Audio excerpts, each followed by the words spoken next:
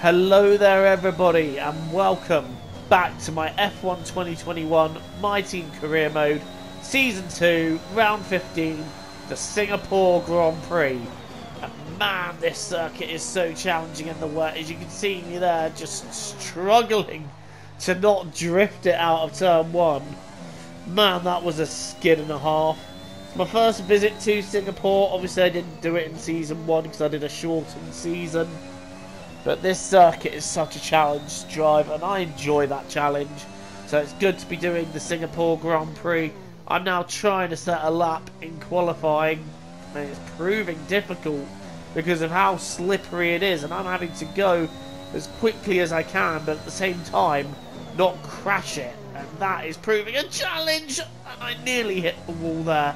I thought I was skidding straight into the scene of the accident there but um, I was able to keep it out the barrier. You can see just how much I'm struggling for grip. Street circuits in the wet are often a challenge of their own. You can see there I've just gone down the escape road because I missed my braking spot and rather than have a crash into the wall I elected to go straight through the middle. Second time round then I'm on a better lap and hopefully this will be a lap that puts me into the top 10. It, it does not. So we are only ahead of Ocon, but we managed to set another lap later on that does get us out of Q2. So we're now into Q3 and it's much drier conditions in Q3. Although we do have a car in the way there and I'm hoping, hoping that's not going to affect my qualifying lap. Who is that? Who is that in front of me there? Can't really see who it is, but we're coming up to complete the lap. It's a purple first sector, personal best for the second, and the lap time eventually puts us fourth. So we are P4 at the moment. Where do we end up after qualifying? That is a matter altogether, and I think I think it said six. With I'm not entirely finished, sure. No, we ended up ninth. So we start the Singapore Bottas, Grand Prix from P9. Perez.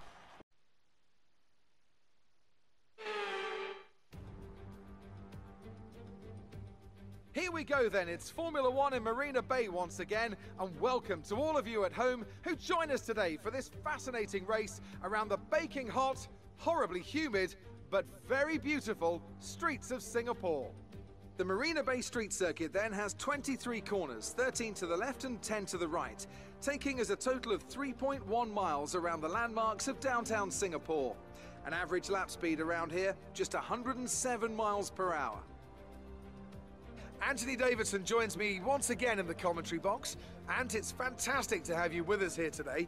But I'm curious, as a man with experience out on the track, how do you stop those pre-race nerves from becoming overwhelming when you're lining up on the grid? But from the moment qualifying's over, you start to feel the adrenaline in your body build up and the buzz in your stomach as you anticipate the run down into turn one.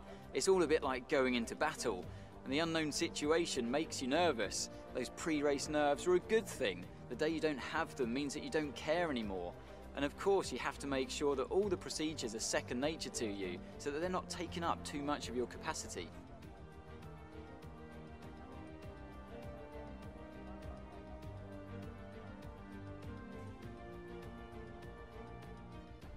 Off the back of a fantastic qualifying session, it's time to see how our starting grid looks for today's race. Valtteri Bottas lines up on pole position, and it's Lewis Hamilton alongside. Considering the rest of the grid, we have Perez, Sainz, Daniel Ricciardo, and Leclerc, Joker, Gasly, Norris, and Lance Stroll, Vettel, Giovinazzi, George Russell, and Massa, they've taken a grid penalty.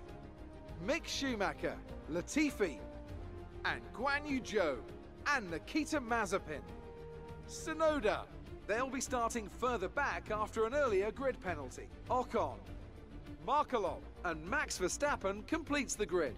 And with preparations almost complete, let's head down to the track.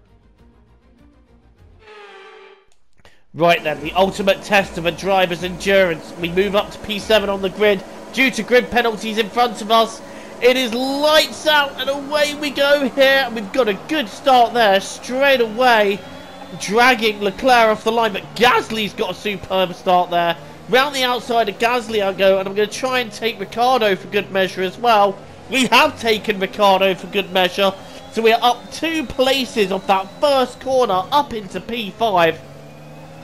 That is a critical good start here at Singapore. And now I'm going to try and tuck into Sainz and maybe have a look, but he's got the torque on me, he's got the run down towards the next corner, so Sainz getting a bit away from me there. As now we head into the technical part of the circuit and overtaking around these parts, well, it just doesn't really happen unless you're feeling pretty brave or pretty silly. But it's not going to happen here, so we're going to just stay behind Sainz for a while. We are up into P5 though, that's a good start, it's an encouraging start. But I would like to get past Sainz and Perez as soon as humanly possible. But we're not going to be able to do that right now. And in fact, we can't to end the first lap. We're still just a little bit behind Sainz and Perez. They've got a little bit away from me in the final sector. But sector 1 is where we are ridiculously strong here. So I feel like this is where we could get one of these guys for sure. I don't think we could take both of them in this sector yet, but I think maybe we could have a chance of Sainz. But again, he's got a good run out of there, but we've got a better one. We're getting ever closer using overtake. This is going to be a very late lunge if we're going to try and make it. Sainz dives out of my way and gives me all the room possible there. And we move up into fourth place, so we're one place away from the podium. Perez seemingly struggling for pace at this stage. Just doesn't seem that quick at all.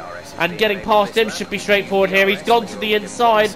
We're going to take the racing line and break that bit later. Perez forcing me wide there, and I have nowhere to go but across the chicane. I didn't gain an advantage there, and I don't think I saved the place by doing that, so no harm, no foul. Right, back in the rear of Perez here, and wow, look at the run and the traction we had out of there. We got him miles before the corner, even just before we had the DRS. Look, you see it there, using the little room he gave me just to get through. And, and that was a very straightforward overtake there, up into P3. But I don't want to get carried away yet because we've still got the two Mercedes in front of us who are actually pulling away from me at this stage. I think the two Mercedes are just that bit too quick to catch at the moment. But we are running a two-stop strategy, so hopefully, hopefully that will help us catch up. Well, depending on whatever strategy they're running, of course. And you can see here, Perez is causing a bit of a traffic jam behind him. You've got Sainz, the McLaren, and what I believe is Gasly and the other McLaren as well. So they're all just queuing behind Perez, and that's enabling us to pull away and pull out that gap just a little bit. Which is just as well because we are running long in this first stint. So the more we can get ahead of Perez and the queue behind him, the better it will be for us. Because like I said, we're running long and I'm starting to push that a little bit harder to try and keep up with the Mercedes pace because round here, the Mercedes so far are demonstrating that they are super quick and currently sat in P3. That's not good enough for me, so I'm trying to find that bit more pace. But anyway, we're making our first pit stop at the end of lap 12, beginning of lap 13. That's a very straightforward pit stop, and that should see us to just behind our teammate. But Guan Yu Zhou has got through as well for good measure. So Hopefully, though, he'll pit soon and we won't have to deal with traffic, or if we do get right behind him, he'll be a straightforward overtake. And in fact, we don't even get close to him until the end of the second sector, beginning of the third. And by this point, by this point, as long as we can get the move done relatively quickly... Oh! That was a bit squirrely out of there, but if we get the move done relatively quickly, we're fine. And Guan Yu is actually pitted there. And I'm not sure if we got the bonus of the DRS because we nearly lost it out of the out of that corner. But um, yeah, now we move back into what is effectively third position. So battle resumes, even though we're like fifth.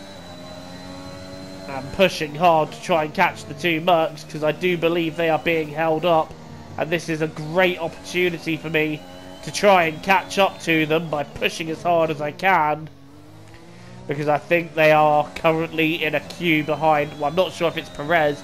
No, it's Leclerc. It is Leclerc who is, I think, has been passed by Bottas. And I don't know when Leclerc's intending to pit, but Hamilton's being held up by Leclerc at the moment. And that is really helping me. We've just had a fastest lap of the race. This just shows I am meaning business now. And in fact, Hamilton, by the time we catch him, hasn't got past Leclerc. We're going to go down the inside there. And that Brilliant. is a nice very move. late breaking move that rarely works, but we made that one work. Stunning overtake there, using the Massa overtake on what I think was Senna. And if you can pull that move off, usually that's a stunning overtake. And that's exactly what we did. Right, next up is Charles Leclerc, who I believe is one stopping. Uh, Bottas has got past Perez, unfortunately for us. But around the outside of Leclerc we go, and that is the move done. Right, now I need to set after Perez and Bottas, and in fact Bottas is not too far in front of us, so we haven't... So while he's been held up, we have gained a couple of seconds on him but I don't think we've gained enough. And now Perez is about to come in on tyres that I presume are well past their use by date because he has been on them for 19 laps. So at that point, he would be causing a bit of a traffic jam. Right, we're in for our second stop now. And I'm hoping that we can get a little bit of an undercut here on maybe Lewis Hamilton. And we now rejoin in P5. Um, we're on the soft tyres now, the super quick tyres. I don't know if Hamilton's actually... So Bottas has pitted again and he's gone on to softs. But actually thinking about it, I think Lewis Hamilton might be on the hard tyres, which would mean he does not intend to pit again. So once again, we have it all to do from the position we're in. We've got to catch Norris and Perez just to get back on the podium. I think Bottas has got them both. Uh, meanwhile, we're watching Pierre Gasly having an engine failure. I believe that's Pierre Gasly anyway. Having an engine failure. Yes, it is. So Gasly is out of the race. And the safety car has come out. Well, that could change everything entirely.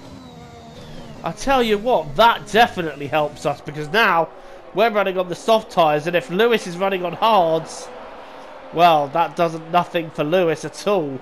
Right, who's that that's out of the race? I believe that's Nicholas Latifi. But back in the action, here we go. The safety car comes in. We've got a three lap sprint to the finish, and the first thing I want to do is dive bomb the inside of Perez. We've done that. We've moved up into third place. Now we've got the two Mercs. Lewis leading on hards. Bottas second on softs. And we need to get between them as quickly as possible. Because if Bottas does get ahead of Lewis quickly, we're not going to see him again for the rest of the race. So it's critical that we do it now if we want to get a second win in a row that we get past Bottas while he's being held up by Lewis. Luckily, Bottas not able to get past at the end of the first sector. And this is where I'm starting to think, can we set up that move again? And I'm thinking, yes, we can. Right, I'm going to have a look down the inside. I'm going to break very late, but Bottas turning in there and rubbing on me there. Oh, a secondary bit of contact coming out of the corner. Another bit of contact there, and I think that's going to do damage to Bottas there. I gave him room, sweep round the outside, and that is second place. I mean, I gave Bottas room, but then he rammed me down the straight a third time, and I think that's the time that did him damage. So, I can't say fairer than that, really. Right, now on to Hamilton for the race lead. We're going to dive to the round, round the outside we're going to sweep round Hamilton and take the lead of the Singapore Grand Prix in what is a stunning move. Lewis goes to cover the inside. I just say, okay, I'm going to sweep round the outside of you, and that is exactly what I did. Round the outside, no fuss, job done, see you later. And in fact, that's where we stayed for this race. Wow, I did not think at any part of this race up until the safety car came out that we'd have had a chance of winning it. Our strategy just really worked out. The fact that we were on the soft tyres at the end really worked out. The fact that we were able to get past Perez really quickly worked out. getting past Bottas, and again, I will argue this, I left him space. He then went into me on the straight, so I don't know, like, I feel like racing incident there that's done him damage. Then we got past Lewis Hamilton on the penultimate lap, and here we are, 31 laps later, winning the Singapore Grand Prix, a third win of the season, a second win in a row. Come on! Absolutely fantastic. It's a brilliant result. Well done.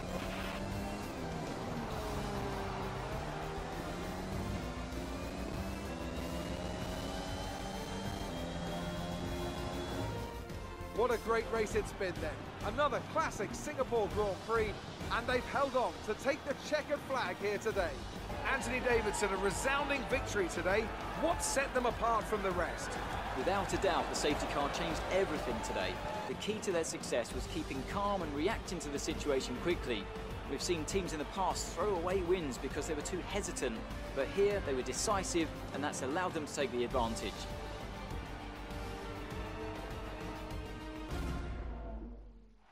Well, I'm thoroughly exhausted after the excitement of that race, but I'm sure it's nothing compared to our drivers here.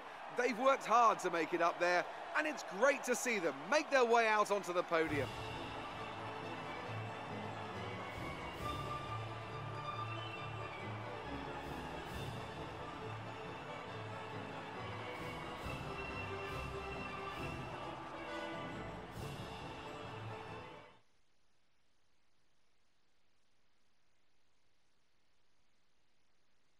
I am elated with that. It's like what they say about buses. You wait for ages and then two come along. That's how we had with wins. We waited for ages after the first win we got for a second win and then we get two at uh, So wins let's number two and three in a row there. So It's a a double win. Hamilton, I will absolutely take that. Hamilton gets second. table. Some amazing Perez gets third. Then it's. Leclerc, But Sainz, who Ricciardo, think is your Norris, driver Vettel, Massa Verstappen in seemed ninth, and effortlessly Italian whip through the Jesus other drivers today rounding out the 10. So a good drive by the Alpine driver of driver choice. there. Let's move on to the constructors. And if we look to the standings now, after a I strong do believe that we have challenging jumped pack. Bottas for P2 in the. Drivers' A strong Championship, and I am fully fight their way intending towards the top. to hold on to that because to another fantastic weekend of racing. I, I'm just to everyone who speechless. Like to get and we'll see you a for the next second win in a row there, and we increase our stranglehold of second in the Constructors' Championship. I cannot complain too much about how this race went at all. In fact, I am overjoyed. But there are still a handful of races to go. Can we hold on to that second in the championship? Well, I'm going to leave you with the highlights reel. Thank you so much for watching. Don't forget to leave a like and subscribe if you're new to the channel. Until the next time, I've been Joe. Look after yourselves. TTFN, guys. Ta for now.